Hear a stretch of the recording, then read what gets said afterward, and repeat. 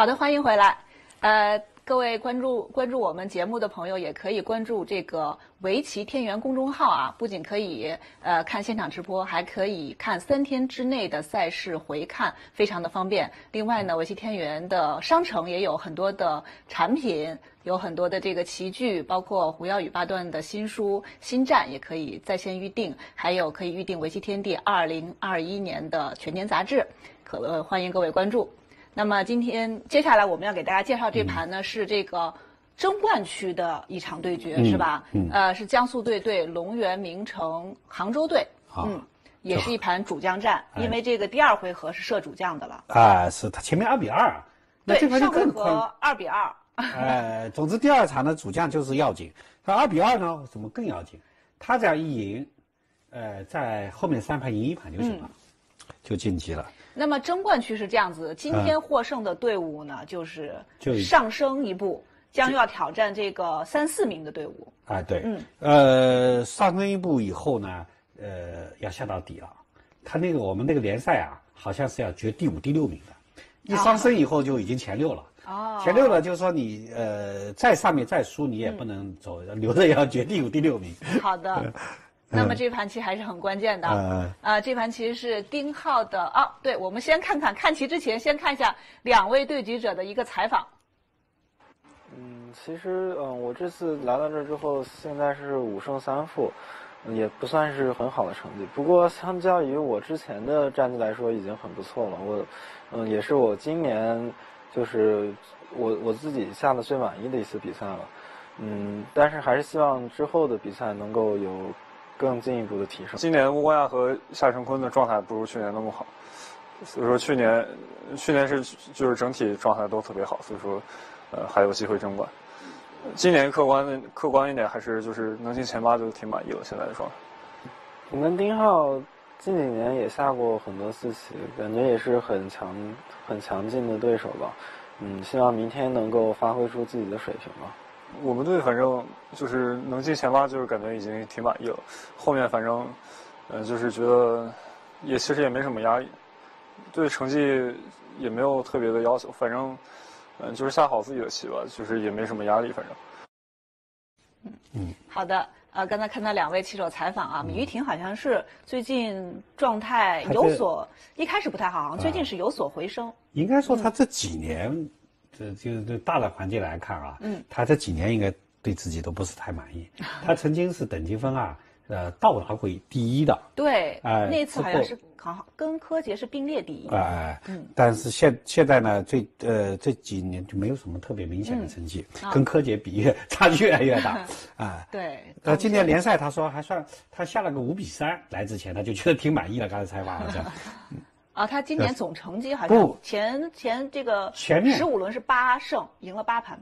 啊，八胜那也就七败，对，呃呃，在前面来这个成成都之前，他说是五胜三败。刚才采访，那个丁浩是零零后的，对，零零零后里面出生的棋手。啊，零零后里面应该比较特殊的棋手之一吧。嗯呃，他应该在我们称他杭州，我也记不住什么队，杭州我们就叫杭州二队啊，我比较熟练的。对，因为呃，除了这个叫龙源名城杭州队，哦还有一个苏泊尔杭州队。啊，苏泊尔还有一个叫龙源名城队。这个丁浩他们就是龙源名城队，就相当于二队吧。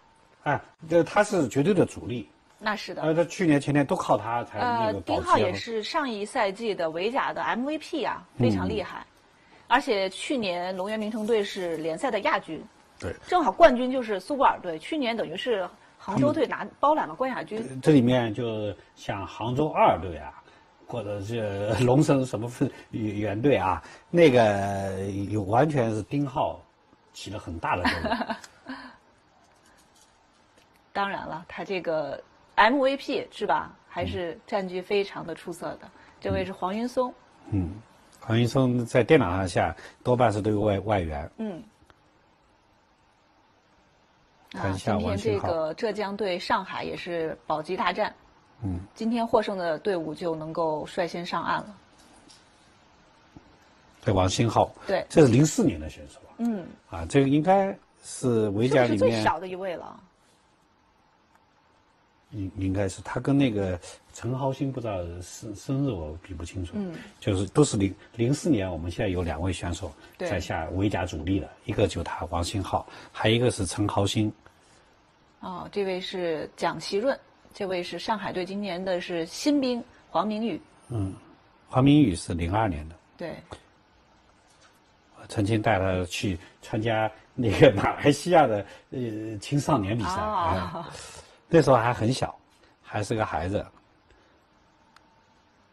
这李维清，对，李维清现在也是成长为上海队的主力了，主将。嗯，，他是零零也是零零后的，嗯，就是刚才是张涛，哎，还有李维清大家也可以多加关注，我觉得也非常有希望。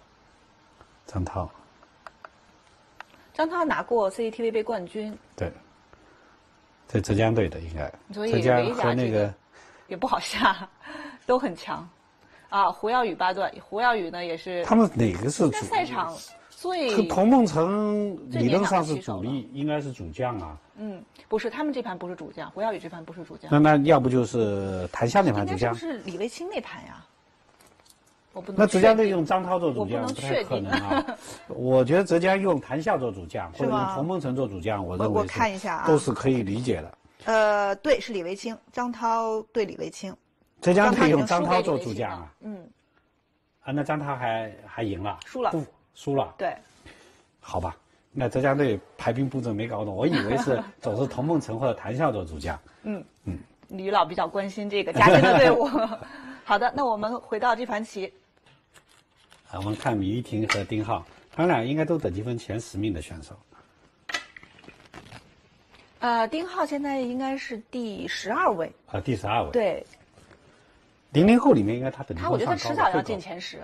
我觉得他进过，他呃，为什么呢？嗯今年我们有一个日本的一个一个比赛，嗯，日本的一个少年儿童的啊，不也不叫少年，他们叫青青年队，那个对什么哥伦比斯杯哎是那个，这个啊时候呢，我们就有个规定，就是说我们拿过成绩的，就冠军的嗯选手我们不出的，因为对方也是出了年轻选手，还限了年龄。嗯。然后呢，我们中国队呢，除了限年龄，还限了成绩。那丁浩呢，就是因因为成绩被限的，他拿过冠军。对，啊。丁浩拿过这个，CCTV 冠军。CCTV 冠军。好。丁浩可能也是零零后里面等级分最高的选手。应该是啊，嗯。零零后，不知道哎，廖元鹤可能没他高是吧？嗯。哎，谢科呢？谢科应该也没他高，对。他们这是你说的这几个都真的都是零零后里面最佼佼者。哎，佼佼者，呃，大家都记住他的名字，一个丁浩，嗯，呃，谢科谢科，廖元鹤鹤，对李李维清，嗯嗯，这个都是希望之星啊还。有还有伊林涛，哎，林哎涛，就是零零后，零零伊林涛也等级分也很高，也林林涛拿过冠军确，实这一两年好像呃，他联赛成绩也不错的，是吧他曾经联赛有个九连胜还是什么对他有一啊年联赛下的特别好。哎，那年他还拿了新人王，嗯。啊，这个定式也是白棋尖顶，也是很常见的开局。对也是都这要我评论嘛是也是原来不肯，现在都肯了。好像在 AI 眼里，呃，这个定式是正常的，都不过它有一点跟我们还是判断一样的，就是这两个定式之间有很接近，看到吗？这个脱退定式，哎，脱退以后才这个，跟刚才那个定式，对就是这个区别。这个区别就是黑棋比刚才要稍微厚一点，是吧？嗯。但是白棋呢，目数也多一点。在这一点上，人和那个 AI 判断还是一样的，嗯，都是觉得白棋这个更好一点。哦，哎，白棋这个略微好一点，这个人和那个 AI 的判断啊，嗯。但是呢，AI 认为这个定式呢，白棋好一点可能，哎，所以这个也能接受。我们人类呢是觉得呢那个是普通定式，嗯，呃，这个不可接受，它呢都往另外一个地方稍微偏了一点，对但是呃更喜欢刚才脱退的形状，那是没有变化的。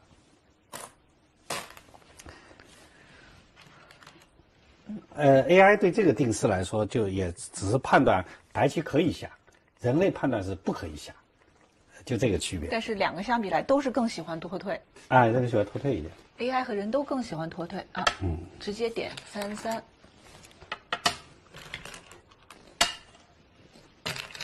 点三三就不评论了。哎、这这步是因为曾子有利，也不是因为他飞刀有研究。有时候我们看啊，如果飞这个曾子如果不利的话，嗯，这样是邀请，只能说你对这个有有求战欲望很强烈，或者你对某些有研究。但这盘棋应该不是，这个是堂堂正正的飞，因为那边黑棋曾子有利了。对，曾子黑棋有利吗？也不一定有利啊。我再看一眼，虽然黑棋那么多子，您说的征子是这个，啊啊，感觉上黑棋真子有利了。短，嗯。斜，长，半，半，嗯，断，打了这个，哦，还真是打这个，这个争子怎么样？现在还是能争掉的，现在还能蒸掉，但是你如果一拖，黑棋先煎一下就蒸不掉了。对，他刚好吃到这儿，再吃这个是吧？然后把它蒸掉。嗯，但是你问题是就实际上就蒸不掉，为什么？你在拖那一刹那，他有时间做工作。你如果这么拖先接，他这时候煎啊，哎，就解决。所以这是政治有利的情况下，嗯，没问题。这这不是邀请，就是你要是真的一拖就中计了。呃，你你一拖拖就麻烦了，他他如果真的一接你就不好办了。嗯嗯，所以这是必然的，基本上是这么下的吗？对，嗯这样就是这个定式，这都是原来在我们这围围我的围棋生涯里，这都没没怎么见过。现在就是就跟我们原来那个最普通的经典定式一样，就就就经典定式了这个流行的很快呀、啊。现在看到这个已经不奇怪了，反正这一飞，然后呢这个定式大大家都太熟悉了。嗯，呃，这盘棋白棋又可以补一个补了一手，很扎实。补一手很大，这个可以理解，可以理解。然后黑棋飞压这个对，黑棋飞压。配置来说，黑棋还是感觉黑棋配置不错。对，嗯，不过这个这个配置中间它还是比较空旷的啊，白棋肯定是要进去。我我我说实话，我对这边啊，AI 的判断，嗯，我是有点有点担心的，就是 AI 一飞压经常不理，他觉得便宜了。嗯，这个是 AI 的力量，我觉得人类还真的要，你要不能，就是说你不动脑筋的模仿是有危险的。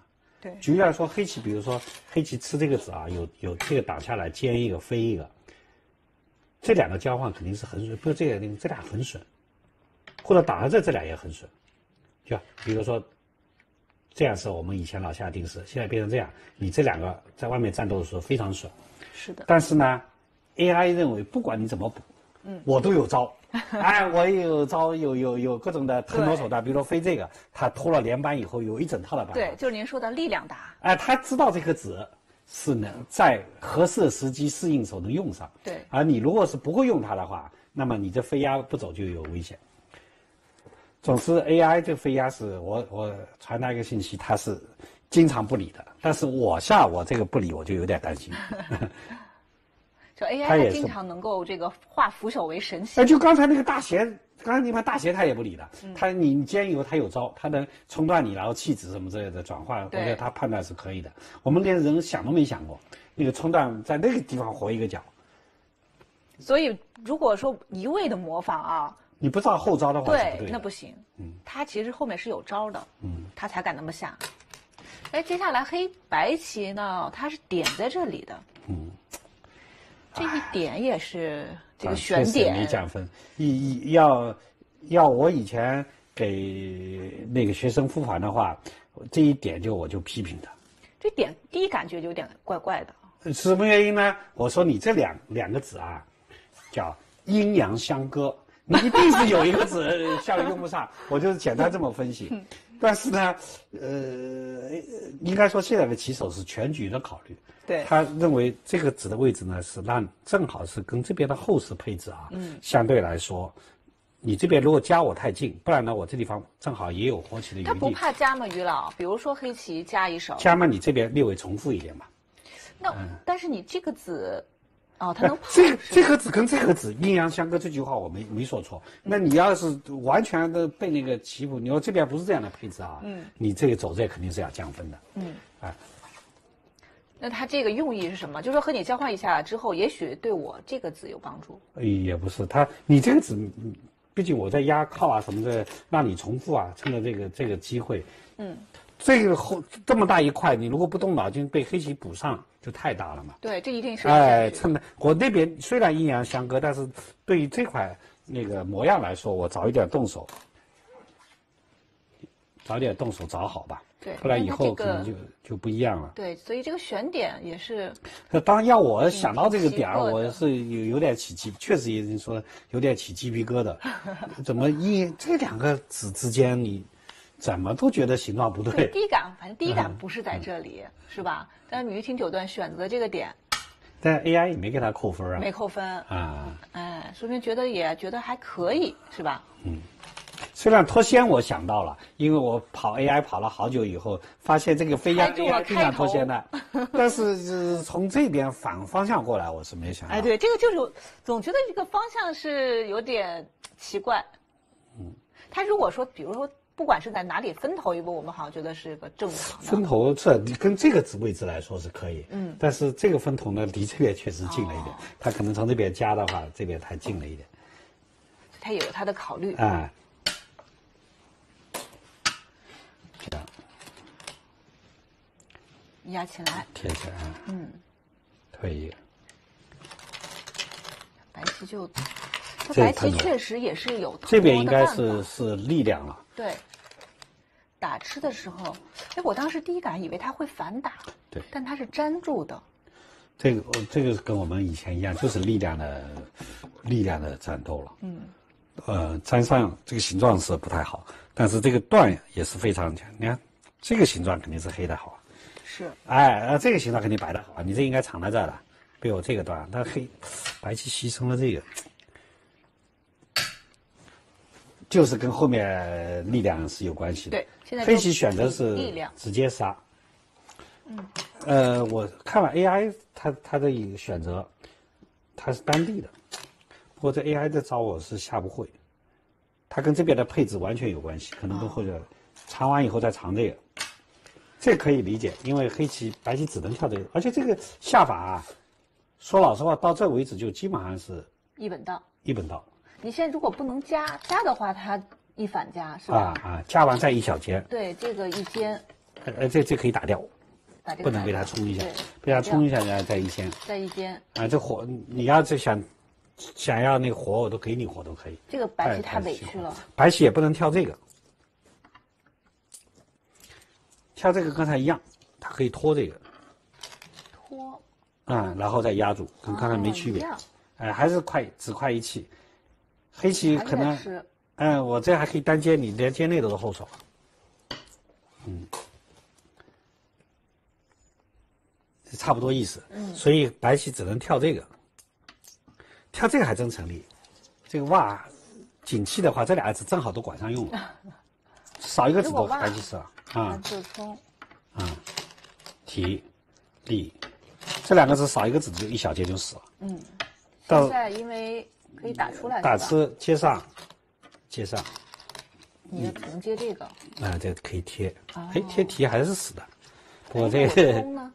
啊，一样打吃掉，打这个。不，在在这个死的这个题可能要转换，黑的不一定行。啊，这样形成有转换是吧？嗯，这样你打吃我就不嗯要了，黑棋跳起来出来。再跳啊。嗯所以也因为这这地方正好有两个字，不然有有一小尖，所以跳这个成立了。跳这个尖，你这只能接上。这黑棋其实一立啊就能算到这个。对，哦，这个图的关键是好坏问题，尖挡住。哎，AI 推荐黑棋这个图。呃，我觉得从人类选手来说，从力开始算到这个图不难，不难。这个我们刚才这么简单的给大家分析的，也就也就这些图了。嗯。哎、但是难在这个到底谁好，在黑棋的这个模样里让白棋活出一块，当然还没活干净。那将来将来立一个不用立啊，啊理也是啊，但是你你就搬一搬，拖一拖也就死了。嗯不活。呃，这个外面是先手，这个绝对先手，但是不舍得交换掉，这个是绝对先手对，这样白棋要不活。啊，这个是，但是这样它可以不封这个 AI，这时候连这个都不走出，挂在外面，这个我不太理解。我看了 AI 的图了，嗯，这样黑他的选择这个，难这样子确实是设计一个判断问题。啊，判断题。这样子可以看到，刚从白棋点这里开始，这样子能活出也不算小啊。活了，完全活了。要我还赶快把这手棋套现吧，不然他一跳出去，这这一招还套现不了了。嗯这个啊判断，AI 觉得可以，觉得黑棋不错，是吧？啊，AI 这样觉得不错。这个，但是如果没有看 AI 判断的话，可能黑棋不见得敢这么要。要判断，你就要要这样的时间，要慢慢的，这我们平常要。呃花其实我呃说老实话，我呃我们我认识下棋的时候，其实大部分时间是花在这个判断上。哦。就是到底谁好，我从这个力开始算成这样很简单。嗯。那还有一种办法嘛，就是算这个实战对杀行不行？如果不行，那我就只能选择这个。有些时候是我也算不清这个到底谁好，但是我别的图都不行了，我也只好选这个。对。但实战呢，这个图呢看不清，显得黑棋可以，但实战的下法是注意啊，大家看黑棋是打这个再虎这也下得很强硬啊，啊，这下步这个压死了，嗯，这边能要过，爬过。这看上去黑棋好像也，因为你没看到这个图不行，你刚才那个是判断不清，嗯，这个呢，说老实话是计算不清，成不成立。呃，丁浩还是围棋上就难度就这个啊，对，丁浩还是选择了一个最凶的下法。啊，白棋这步拖是好棋，其实拖了打了虎的时候就要算到他这个，如果简单挡，黑黑棋这一压，黑棋就简单了，对，嗯嗯。但是这一压这两个子就死了，那么白棋只能是靠这边跳出去。那你这个也不用打了嘛。他现在这个要过，这边要走，嗯这时候呢，他用拖的办法，这有点有点有点意思。他想高级战术啊，他想先手主动，对，先手主动，你如果一搬，他一急就先手主动，先手哎，再退一个就先手了。那你只只能按你搬这个算，不这个这样的他一退先手，那太简单了一。断，哎，这边要要打了拐死，那边要断死那他，就只能搬，嗯，这样子吃，打吃。提还是斩？啊，然后他他从这个打了再出去，行吗？这里提掉吧。提掉打了接上，然后从这再打，再从这打出来。嗯。啊，那边又又就是这边获得一点便宜。那黑棋，黑黑棋这个我觉得是挺危险的，这地方还吃不干净，这外面提这个还是先手了。对。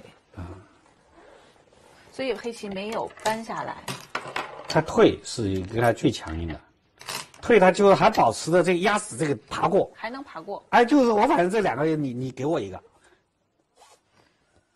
白棋尖。海白一尖这个棋有点有应该说有点意思。黑棋如果没有这个拖的话啊，我黑棋最硬的就是挤这个，啊，那就是真是要 鱼死网破了。啊啊这一挤不能拐，拐有一段，嗯，我就大致粘上吧。接上接上虎这个，不知道这样子它能爬过是吧？他爬过，他这个挤比较熟，这样跳出来，嗯，这会不会可以考虑虎的这儿？还是接上把这个盖出来也很厉害，把这个盖出来。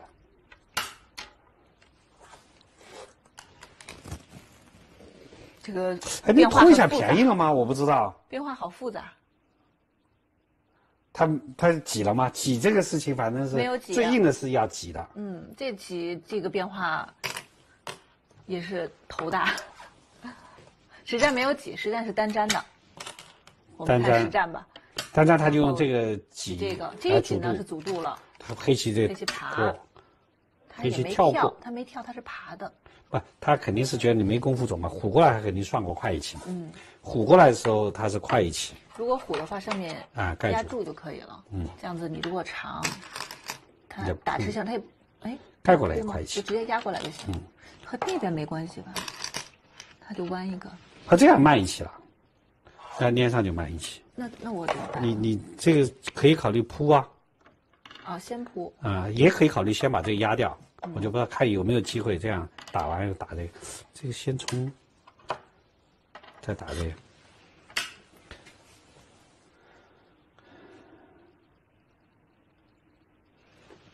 哎，啊，这这你这俩不能被抽啊，这个我只能站，嗯，再退一个就够气了，退就可以了。退快一气。如果如果这一期撞了，就退一个快一气。嗯，这边因为它出不来，啊、嗯，里边是慢一气。是不是刚才你说对这样单退会不会快一气？我不知道，因为你接的话，搬山延小不延？哎，一二三四五，让它黑棋接上，白棋接上，白棋快一气。胡了，我相信他是算清楚的，应该是黑棋快一气，就是他不怕白棋虎，嗯，这样呢紧住他的气好一点。对那白棋这个爬厉害，爬他先跳，爬不着吧这个，他先跳交换了之后，黑棋也下得很硬啊，直接冲断，没有，然后白棋再爬。你死我活了。对，黑棋有没有必要这么强硬？不，如果出去的话，我觉得他从这步接开始，嗯，一这边你不是这么盖死的，那么这步再再出去，黑棋是有危险的。我我能理解。如果如果说你你这边是应该这么盖死才是才是人生目标啊，等于你没去盖，你你是在底下就接在在底下爬了一个，嗯呃，白棋相对来说外面还有先手呢，或者直接胡个味道很不好，去跳、冲断，这样直线思维比较简单嘛，爬多半要挡住是吧？挡住的。哎呀，我们来算算看，如果断先手，白棋长这个是先手，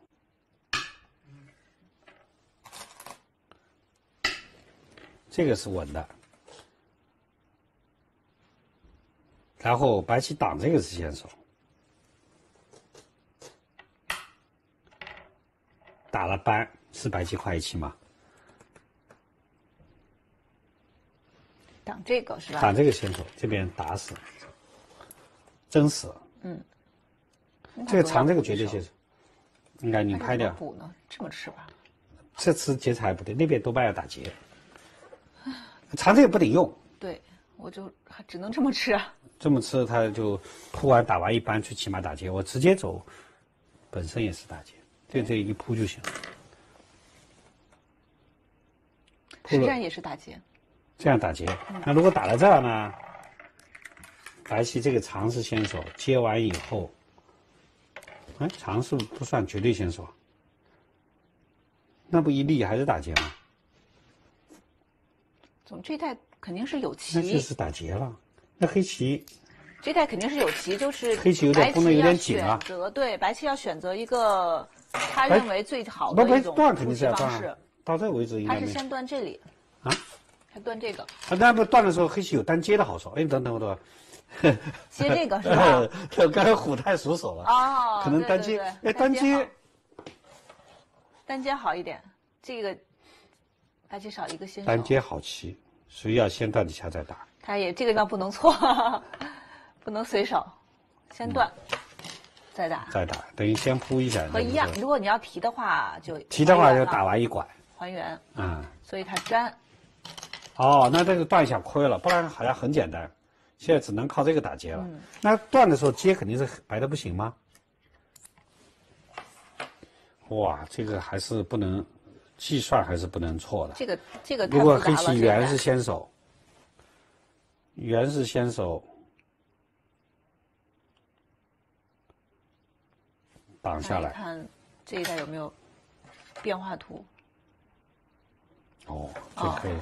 决议也也是推荐的，断这个，先断再断这个。如果如果断，可能要被接上。嗯，这个这个被杀。对，所以要这么来逻辑分析的话，应该是但先断了这个，那黑棋就黑棋提的话，刚才已经简单，那个劫肯定黑的不行，黑棋只有打这个，打这个白棋用这个劫，哎呀，现在是怎么样啊？这样这样子形成结争。结争谁好啊？刚才那个是白棋多少？嗯，现在差不多，胜率和初始胜率基本上还是一致。这样打劫，黑棋等于没功夫提这个，呃，这样，如果黑棋，然后打劫嗯，这是劫财，白棋应该多。提，如果黑棋提的这个呢，白棋把这个提活，我这个双方要花好多时间呢才行。对，啊，这虎下来已经成立了，跟判断有关系。啊，这样多一打，啊？盖不啊住了，但那边气要够，所以那边你要是再接的话，白棋他要虎下来可能是要胡。下来了。所以你如果再补外面，他把那个也再提掉，嗯，转换，提一个那还要合计到判断问题。这 看上去很复杂，不，黑棋要像这样已经是可以做到了，但问题是，呃，不好判断啊。嗯，先手黑白棋先手活一块，怎么样啊？这样，不是感觉白的还行，白棋这边虎下来还可以再，收收气。嗯，黑黑棋是不是还打这个好？打完补一个才干净。嗯，那就是黑棋这个结果是黑棋可以走的，显然是黑棋不够，还不够理想，所以他不肯提这个。这样的时候，你能看一下黑棋的提掉的传好图，不知道有没有？嗯，我看一看啊。呃，打这个结的时候，黑棋最简单是把这个提掉。哎，黑棋可以拐在这儿嘛？就提这个的时候是吧？拐在那儿更好啊。那我来看一下有没有这个决议，有没有这个图？哎，刚才是不是少下一个？没有啊。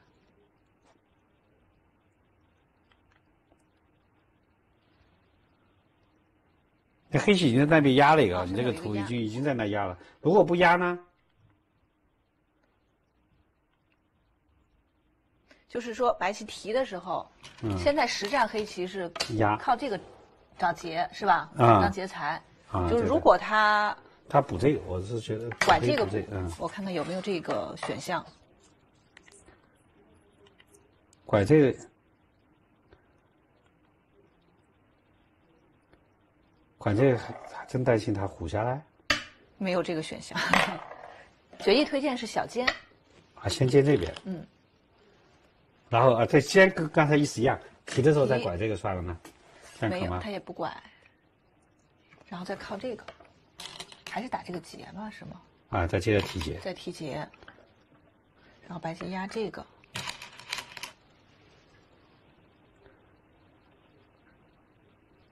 哦，这个太复杂了，太谁好啊？这样子白棋黑棋六十，黑棋这样就是黑棋还是有比较有利的战斗。嗯，那实际上压的时候，白棋脱先了，压，黑棋白棋提，呃脱先提过来，黑棋搬一个死劫财的，你这时候还还要判断呢，这个搬是劫财，这个还是我看看啊，哎呦，这个对杀是米玉婷和呃米玉婷和丁浩两个年轻人的，呃丁浩更年轻一点，我觉得。嗯，好，现在白棋黑棋是黑棋靠，嗯，白棋提啊，白棋提，嗯，黑棋搬一个多劫财嘛，对，黑白棋立，嗯，这个劫等于是黑白棋是个两手劫是吧？嗯。但外面劫财白棋多得很啊，对，这一压，压压只能接一个，劫财太多了，劫库，这这这没什么好想的，这只有加，他现在没尖，嗯他是这只能啊，他先提一个还快还快一期是吧？先提个劫，耗他一个劫财，七四，看看啊，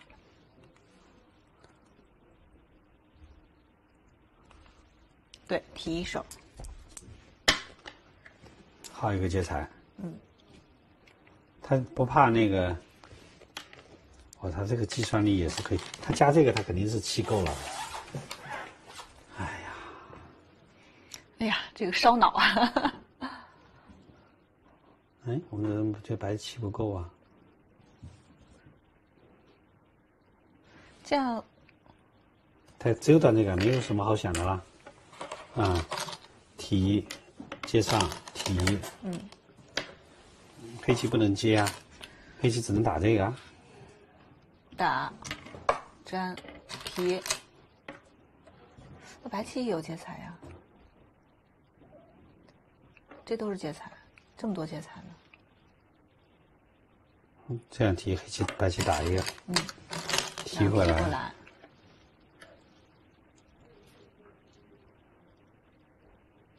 他不能粘吧？不能粘。粘在开这个劫，开这些中太重了中中间跑是劫财。嗯，哎，这个一本道加这个，这当时黑棋敢提这个，白棋一加，黑棋没有别的头了，黑棋只能断这个。这个是一本道，提，白棋只能提这个。嗯。黑棋是扑这个是，现在扑这个是，这个这个。这个地方不能算错。他扑这个是好棋，有这一招。啊！这个 他这个扑这好棋，其实他他这手拿这个啊，最后一个劫财。拿这个当劫财。啊，最后带响，哦这样子你你你无数的劫财都没用了，那扑那一下，关键的一个劫财。终于看明白了。于老一直在这苦苦思索。呃，这个这个这这这时候有一扑，这个这个时候有一扑，呃，不能把这下先打掉，啊，总之呢，这这个那那还是很深的。这计算来说，黑黑棋为了一个劫财，这时候先提一下，嗯。他算清楚有那个妙手，所以这时候提还引诱你犯错误，呃，你要不犯错误还赚一个劫财，那白棋只能把劫财卖掉一个，对，双方都很清楚啊，都算得很深。你都看到了，提啊，黑棋尖一个，白棋再打两手，然后，呃，反打，你这个反打是好时机，嗯，那黑棋在这个花了一手棋，这时候反打。哎呦，这个到你反打黑棋，这时候不能跑，跑他接，嗯，提完以后，这时候一扳，把这个打成饼，这个劫就厉害了。哎，这个如果这样怎么看？这样但是，管是先手，他只能补是吧？嗯，不管是怎么补一手，不最最强的补到这，补到这也没啥意思，补到这儿，啊，或者补到这儿，补到这儿劫财少一点，黑棋白棋一打，我一打，哎，你这个接上，然后一提，这个就大了，这个接，这事儿玩的比较大了，接台都没有了。这个一抓，哇，这个这是黑棋的角啊，所以你你，有那黑棋有点问题，黑棋这个包被包到了，那黑棋这时候也不知道有没有办法，这个被拱包拱了，也就是说黑棋白棋啊，这再断回来，这只亏一点点，嗯，也还不说不上亏，在那个对杀来说，但是白棋趁着这边先走，把这个兜这种事情干掉了，那黑棋就危险了，黑棋，哎，那黑棋的问题手在哪里啊？要不不压，刚才我像我是连补两个是没问题的。有可能，实战就是这么下的，实战白被白棋滚打滚打，你看那胜率有变化吗？有变化，白的不行，那黑棋问题在哪里啊？，现在白棋好，黑棋的问题是在哪里啊？这个这个时候，他压也没可以扣分啊。搬了长的时候，往回退退看，刚才是哪一步棋问题时候没搞懂？这时候啊，黑的好还是白的好啊？这个时候也是白棋好了，还要再往回退吗？那就往回退。这这个时候呢，他提这时候黑棋怎么这时？候黑棋好，啊，黑棋应该什么图？可以看一眼。看一眼啊，哦，应该这边都不要了。就粘住，这个粘吧，不能这边先动手，你还最后被人家断回去，什么也没有。嗯，这时候粘，这边你随便你怎么吃。那黑棋白棋还是可以打啊，这样就清了是吧？啥都不要了这当时这两手还没交换，啊？这两手还没交换，这样的，那他贴呢？贴也不要了。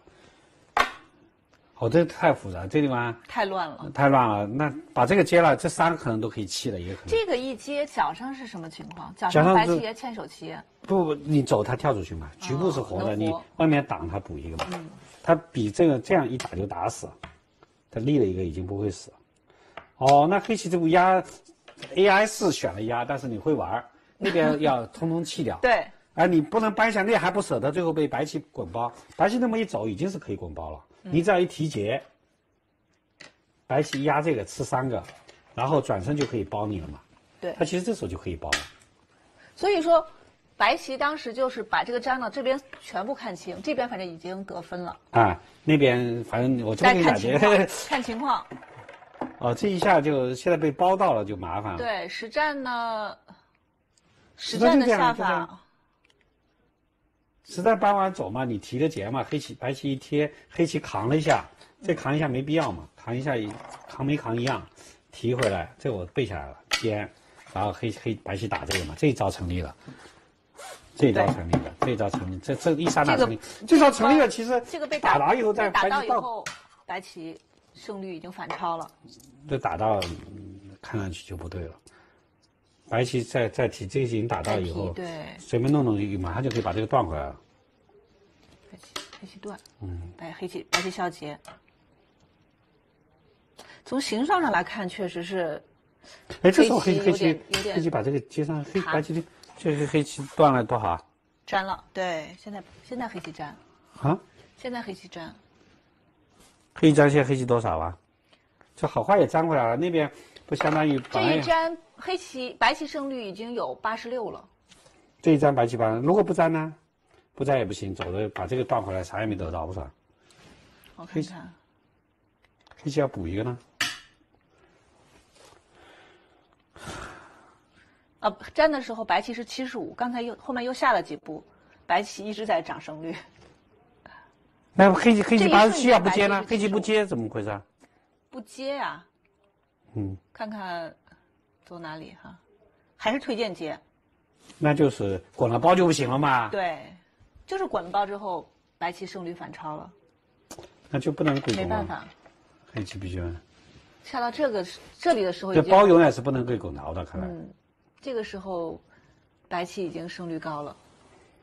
嗯，这你接这个白棋要把这个跑出来，那一坨还很危险的。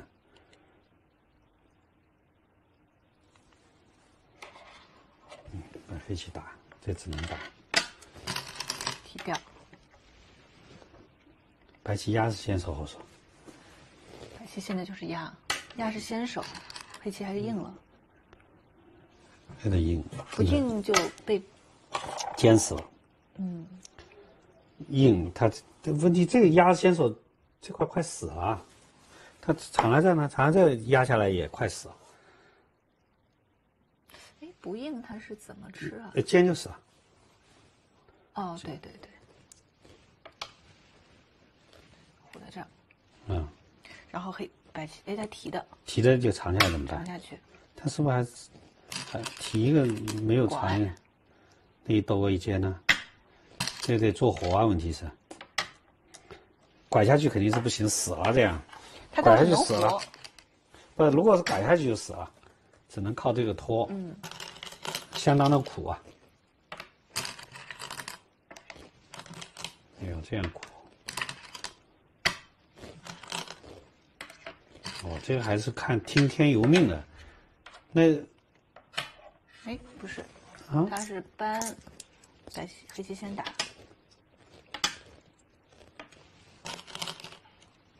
然后粘住，这很难啊！这个棋如果跳呢？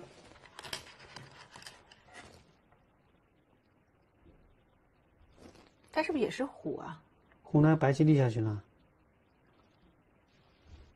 这外面搞定了是吧？白棋有没有必要这么狠？就尖这个，对外边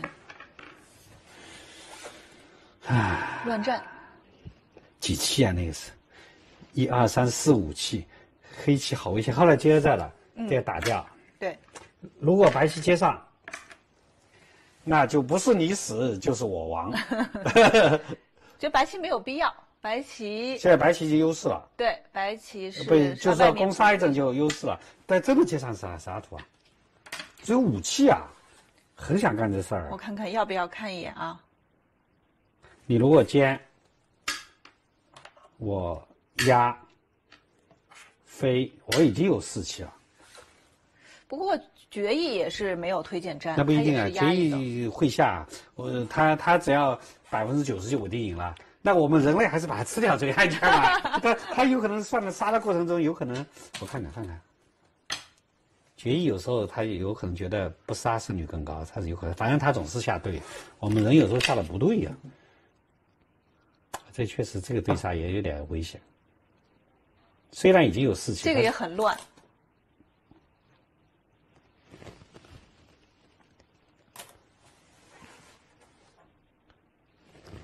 后面挪我一一眼这个看不清，一对这个眼看不清对。白棋来说，白棋压到这里，白棋胜率这这看不清，这看不清不，，这个于老压到这儿，的话，白棋胜率已经九十六了。好吧。没必要了是吧？没必要那么那么狠啊但。眼看着他只有武器了，很想去，嗯，哎这攻一段确实是比想象的严酷多了。从那个白棋把从这个猴出来开始，嗯一下白棋走那么多，黑棋最后只有两眼活，实战，白棋把这个爆掉。把这个爆掉，嗯这个简明优势啊。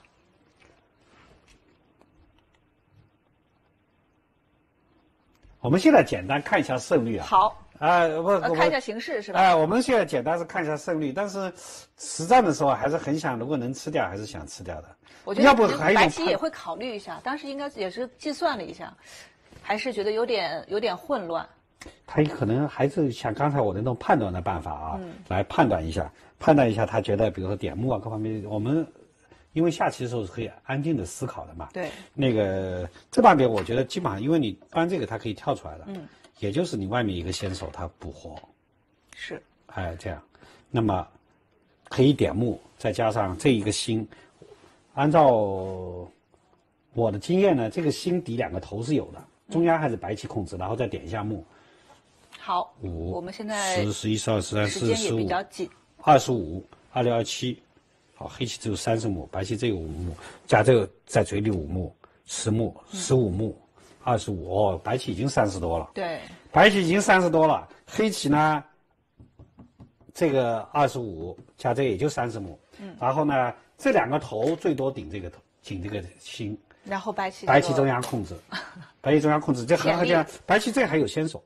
是后来这个还来先手，后来也是交换到了，那，这还牵手，也就是中央的绝对控制，然后你还贴目，目数这这一片加这一片跟这个差不多多。对那么我这个心顶你两个头，我白多中央优势中央控制的话，你贴目是太难下了。嗯。所以这个也确实是黑棋啊，白棋这样判断是比较简单。我估计对局者也是用这种判断的方式，比刚才算那个杀气要简单。